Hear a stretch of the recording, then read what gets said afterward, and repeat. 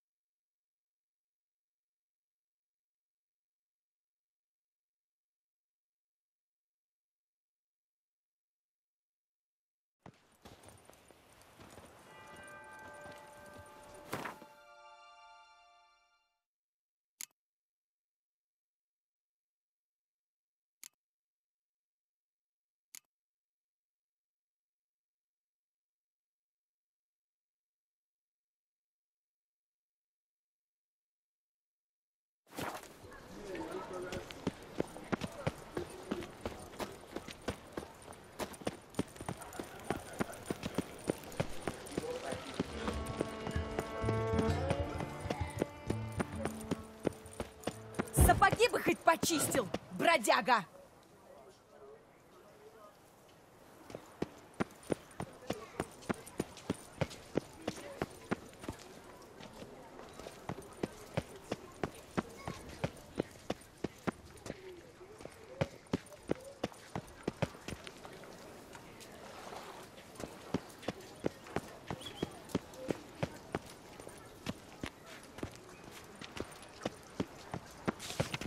Нету на них управы. Желаю счастья. Тебе пригодится. Эх, не повезло.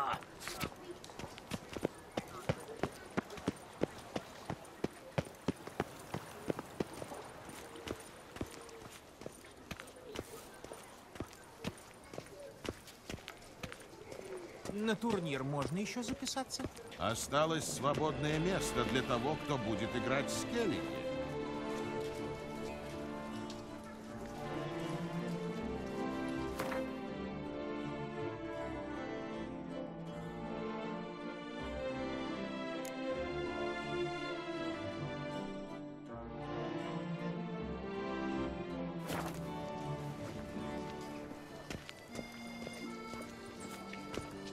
Родишься таким страшилой, и ничего уже не поможет.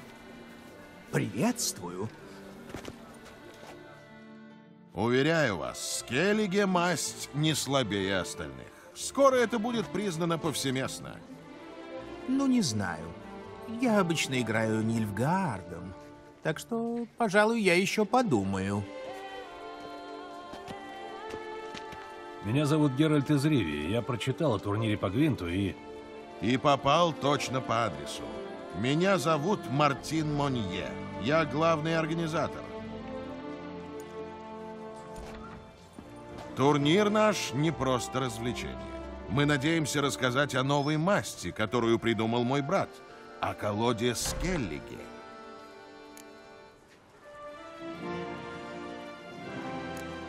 А как возникла идея сделать новую колоду?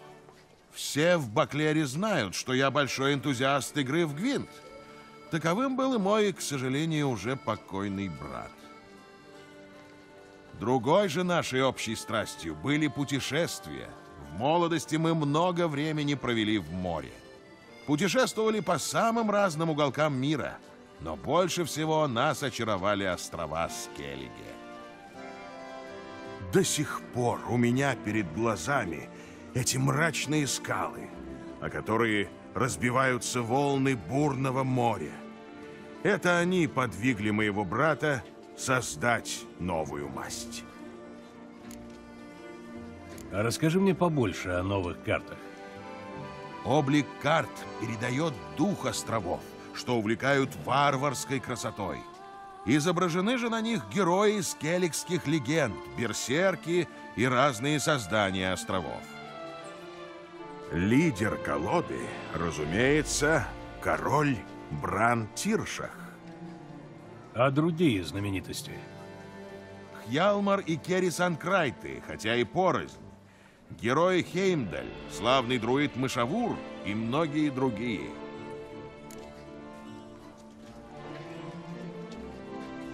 А могу я поучаствовать в турнире? Да, одно место пока осталось, но есть условия. Ты должен будешь играть картами из колоды Скеллиги. Видишь ли, я просил об этом многих опытных игроков, но они боятся всего нового. Для них слишком важен выигрыш, поэтому они предпочитают играть своими испытанными колодами. Ну, я понял.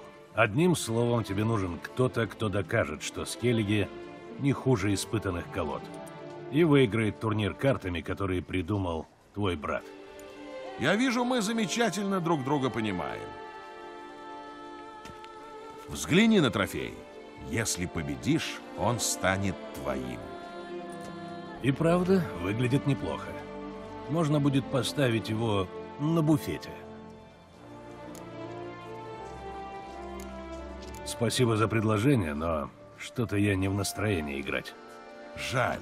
И должен сказать, игра мастера не зависит от настроения. Впрочем, турнир еще не начался. Если передумаешь, возвращайся. Я дам тебе на пробу основные карты из колоды Скеллиги. Остальные оставлю себе. Я собираюсь играть такой же колодой. Благодарю. До встречи. Родишься таким страшилой, и ничего уже не поможет.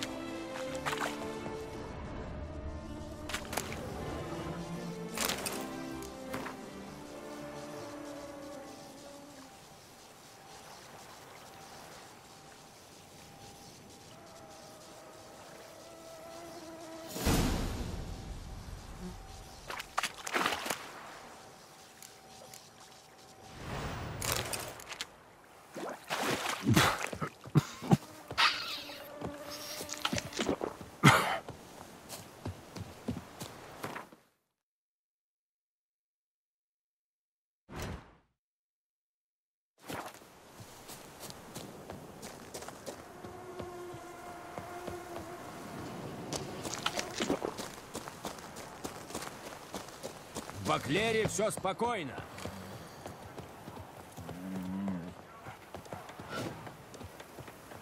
Дашь мне пострелять из арбалета?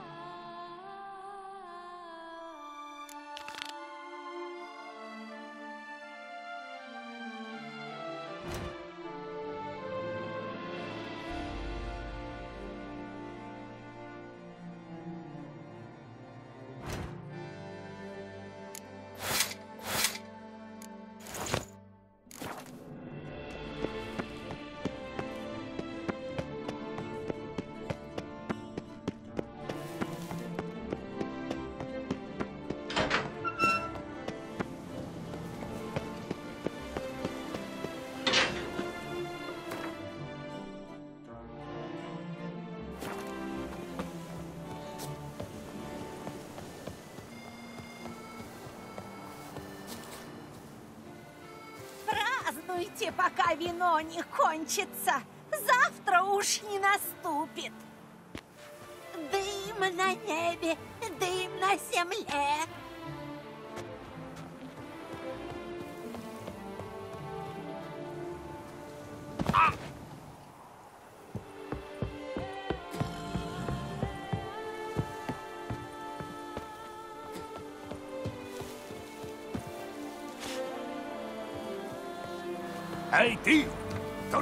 Чемпион! Может, тебе в колоколах какую скидку дадут? Ну, привет! жопу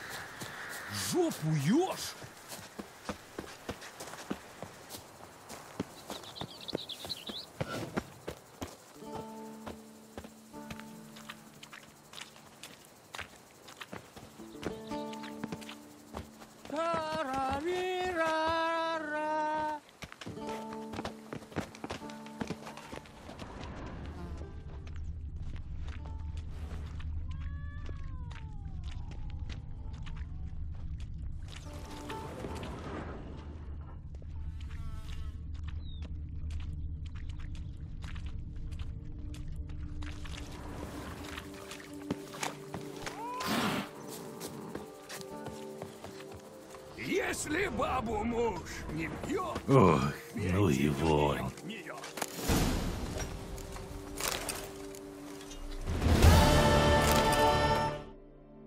Верну.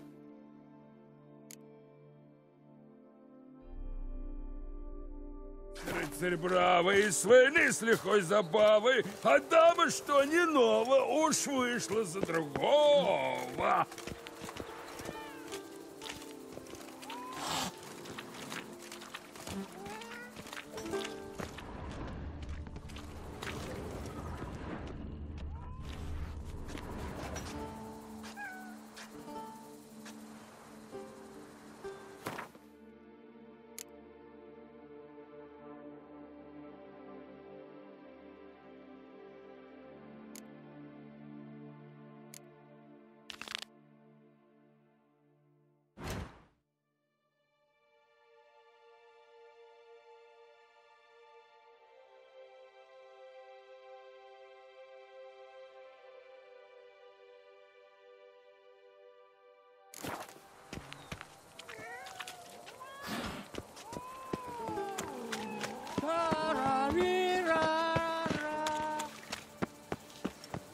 Есть ведьмак? Вернулся рыцарь бравый, с лихой забавой, а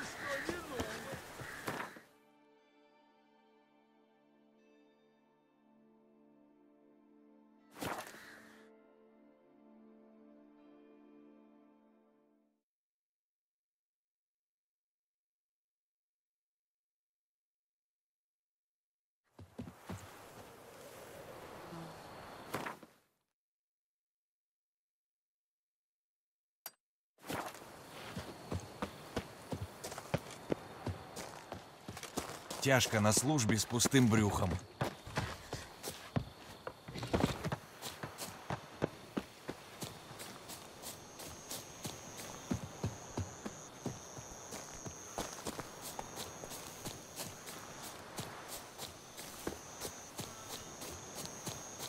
Откуда у тебя такие кошачьи глазища?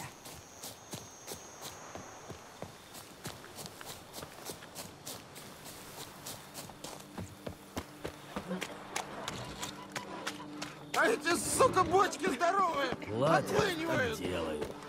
Все просто. Эй, эй, подойдите-ка.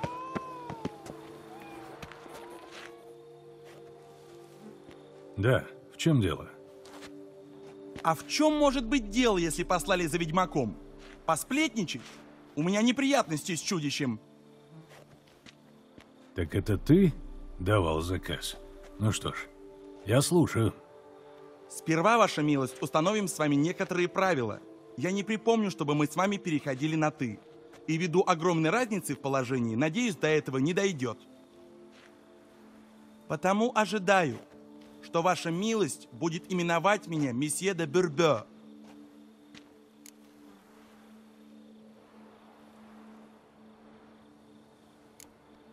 Так и быть, месье де Бурбе. Подчеркну, не плебейское «ё», но «э», «бюрбе». Сейчас я подчеркну кое-что другое. Говорите, месье, в чем у вас тут дело, не то я и передумать могу. Ох уж эти нордлинги и их манеры. Хорошо. Короче говоря, у меня чего-то завелось в винном погребе. Так, значит, мне предстоит приготовить масло от чего-то. Простите? Мне нужно больше сведений. Где это чего-то видели? Есть ли свидетели, можно ли посмотреть тела? В том-то и дело, ваша милость, что никто этого чудовища не видел. Мы его слышим только. Такой вроде бы храп и писк. Тел тоже нету. Люди пропадают бесследно.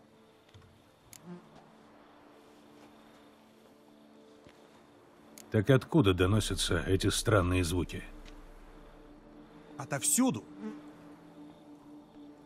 А отчетливее всего они слышны в подвале с вином. Значит, у чудовища логово где-то под землей. Хм. А когда они громче всего? Ночью. Точно так же, как много лет назад, когда дома заваливались. Тогда этим тоже мастер занимался, только о нем с тех пор ни слуху, ни духу. А кто именно пропал? Позволю себе спросить. Хм. Последний раз какой-то батрак, кажется. Может, несмотря на огромную разницу в положении, которая вас разделяет, вы запомнили его имя, месье? Нет. Вам надо поговорить с моей женой. Она с плебеями в более близких отношениях. Ее сейчас нет. Она поехала в гости к матери, но скоро вернется. Хватит уже этих вопросов. Ответьте прямо без уловок. Вы берете этот заказ или нет? Зависит от того, на какую награду я смогу рассчитывать.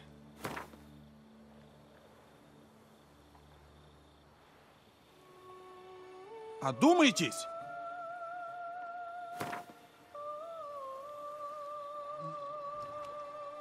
Хм. Потерплю убыток. Согласен. Я принимаю заказ. Сперва я здесь осмотрюсь, а потом хотел бы поговорить с госпожой де Бурбё. Хорошо, я дам знать, когда она вернется. А пока вот ключ от подвала. Только прошу, не касайтесь бочек с вином.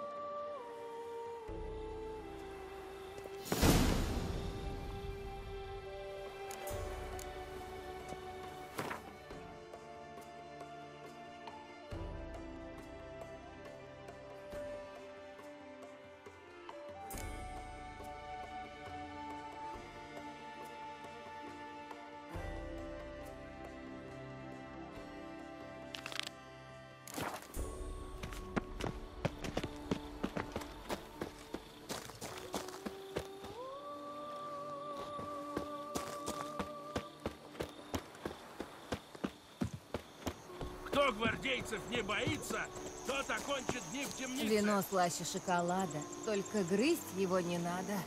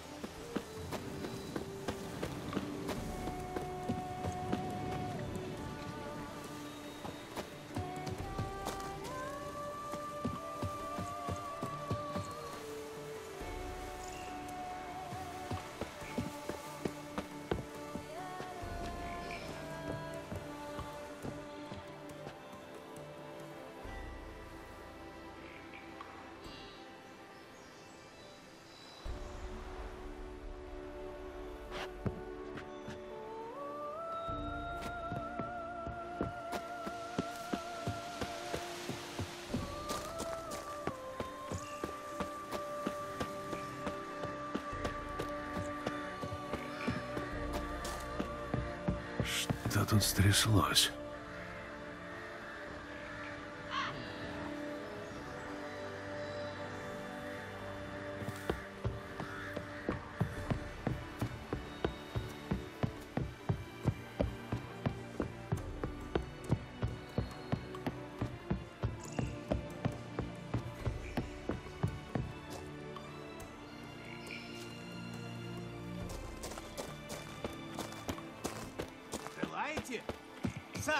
Работайте. Мы не выйдем. Мужики, у меня же сроки. Да зная, что тут будет, я вообще не нанимался.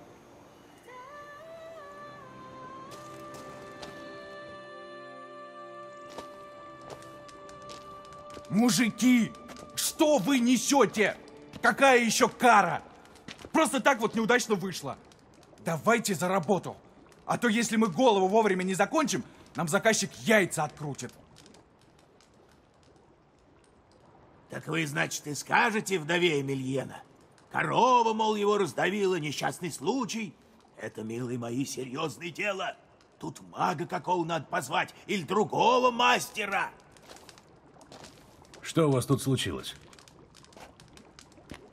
Гляньте, это же тот ведьмак, что в город приехал. Может, он и нам какие экзорцизмы почитает? Спросить надо, сколько возьмет. Я видел объявление. Там было про какую-то корову или кару. Так самая настоящая. Боги, должно быть, совсем озверели, потому как в Зерикании сперва шел дождь из саранчи, а потом уже из лягушек, а у нас сразу по людям коровами херачит. Ладно тебе, ладно? Нечего панику сеять. Пойдите сюда, мастер-ведьмак. Я вам все спокойно объясню.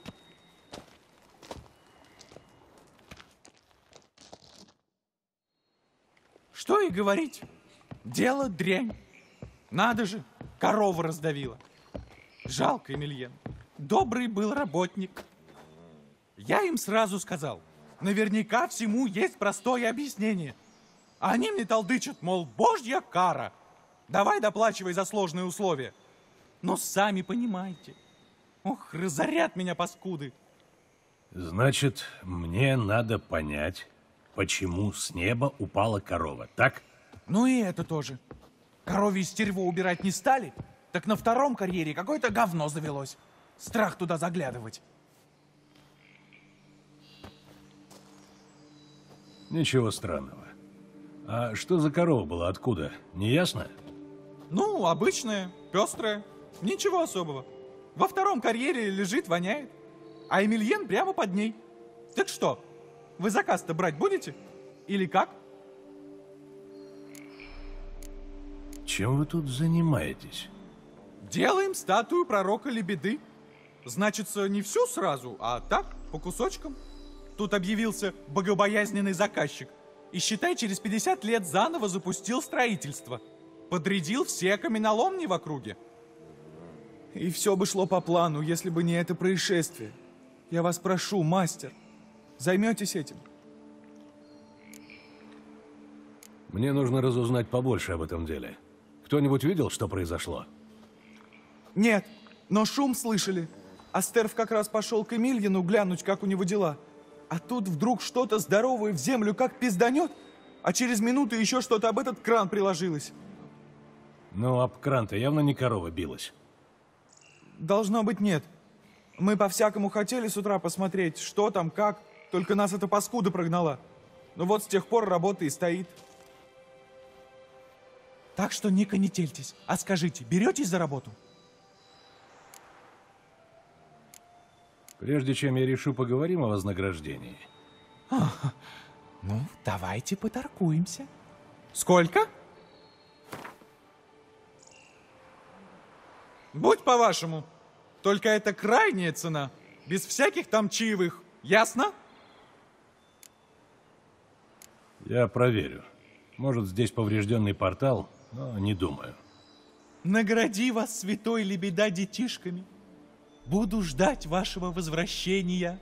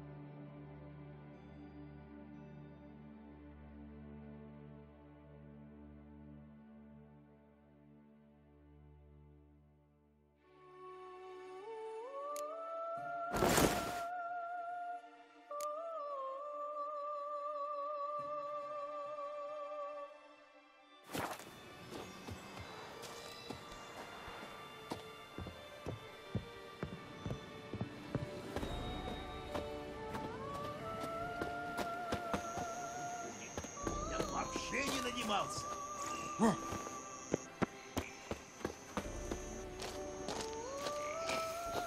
Раздавлен коровою? Куда ж годится такая эпитафия?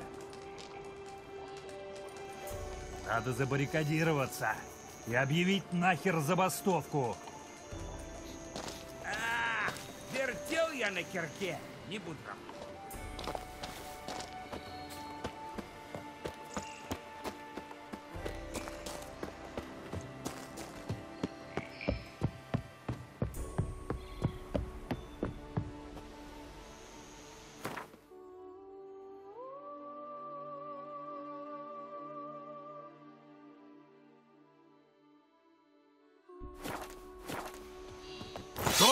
меня! При покупке полного снаряжения бутылка Фиорана бесплатно! Вы не очень-то похожи на каменолома. Это мешает тебе со мной торговать? Ничуть. Я о том, что тут вы ничего полезного себе не найдете. У меня все больше товар для мужиков из каменоломни. Но если желаете взглянуть, смотрите, я не против.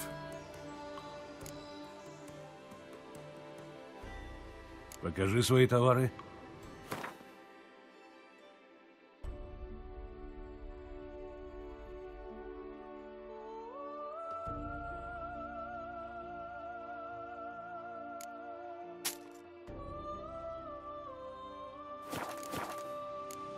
Послушай, ты всегда такой дружелюбный? Или сегодня с левой ноги встал? Нормально я встал. Как обычно. Правда, на левую ногу я хромаю. Работал я тут когда-то, в каменоломнях. А как кусок скалы откололся, так всю стопу мне раздробил. Прости, глупо вышло. Ничего. Тут это часто случается, такая уж работа. Все постоянно что-нибудь ломают, лодыжки подворачивают, шеи сворачивают. Мне пора, прощай. При покупке полного снаряжения бутылка Фиорана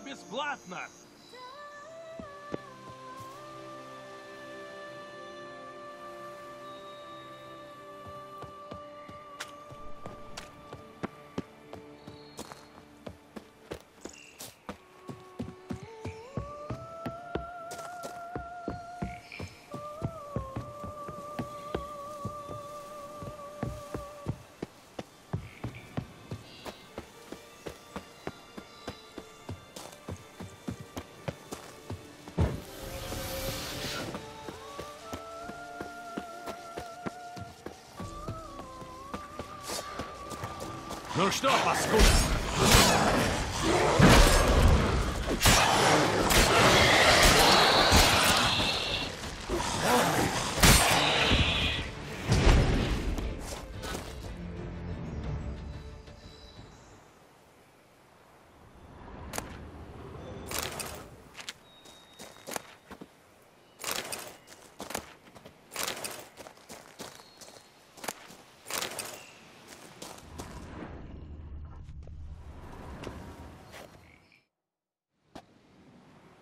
Это значит, тот Эмильен, о котором говорили работники, бедолага. Ну ладно, с чего бы начать?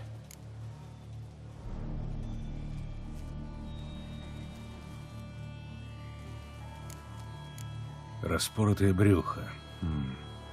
Крови не так много, значит, это произошло после смерти. Сердце уже не нагнетало кровь. Следы зубов, но небольших. Трупоеды, ясное дело. Тут же сбежались на добычу.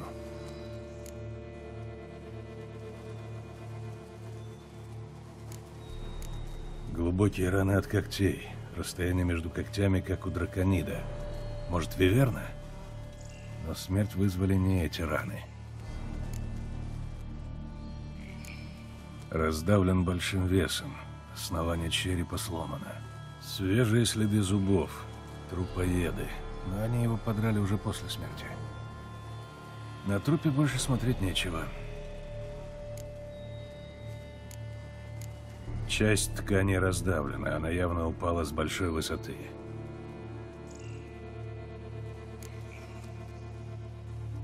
Все ясно, корова убилась после падения с высоты, когда ее упустил какой-то драконит. Наверное, молодой. Нес корову в гнездо, она оказалась слишком тяжелой, а Эмильен, по несчастью, как раз стоял внизу. Теперь еще этот кран.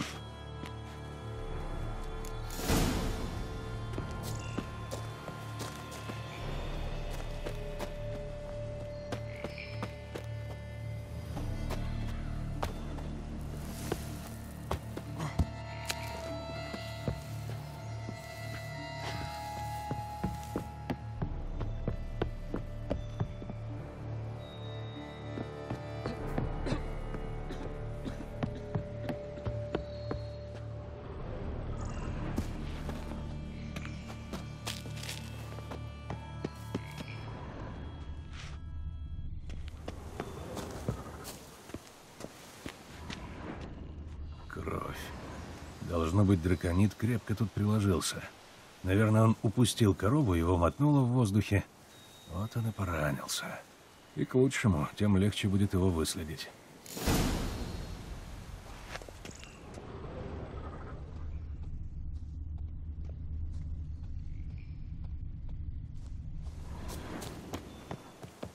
Следы крови драконида едва заметные. Я на верном пути.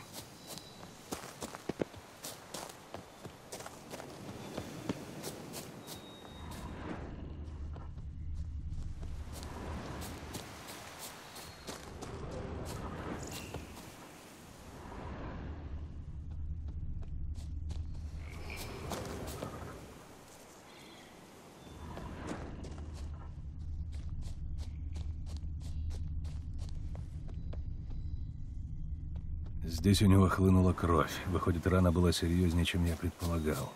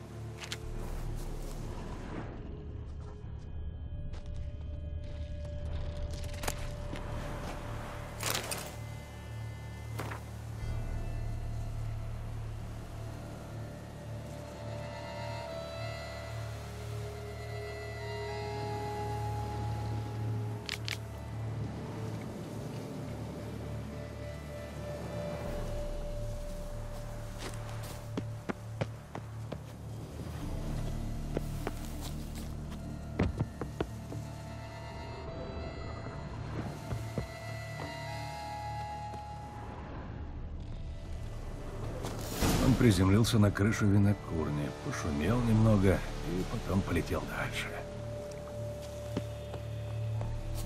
Следы лап. Похоже, он слишком устал, чтобы лететь дальше.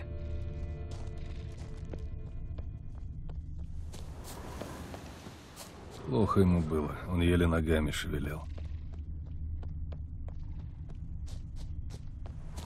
Хм. А тут приземлился второй драконит побольше. Подождал, пока маленькому станет лучше, и они полетели вместе. Их будет легко выследить, у того, что поменьше по-прежнему шла кровь.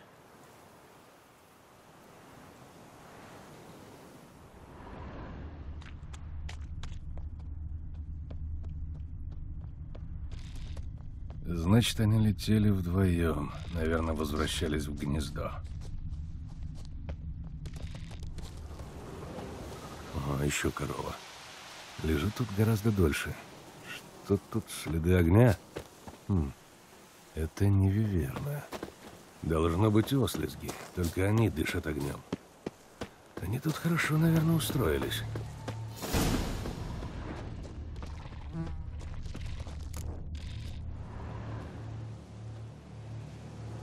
Здесь след обрывается, но бьюсь об заклад, что там наверху у них гнездо.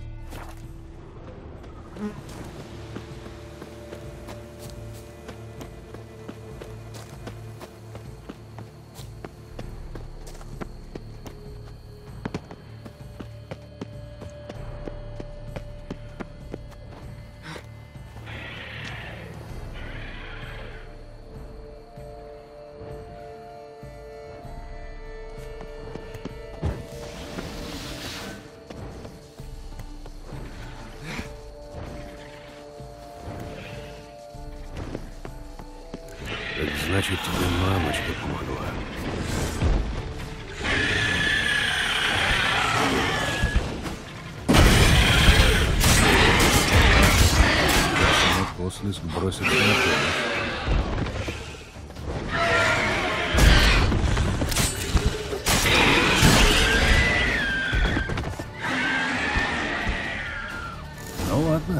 Пора забрать трофей. Остальные еще не вылупились. Надо все сжечь. И делу конец.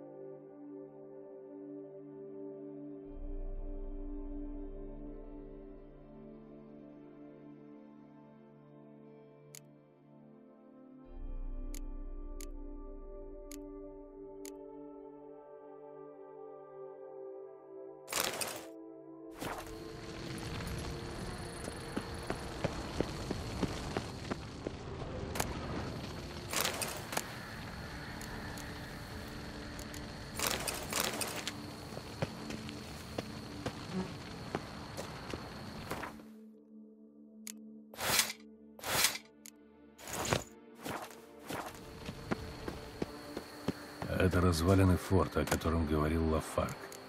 Надо здесь осмотреться.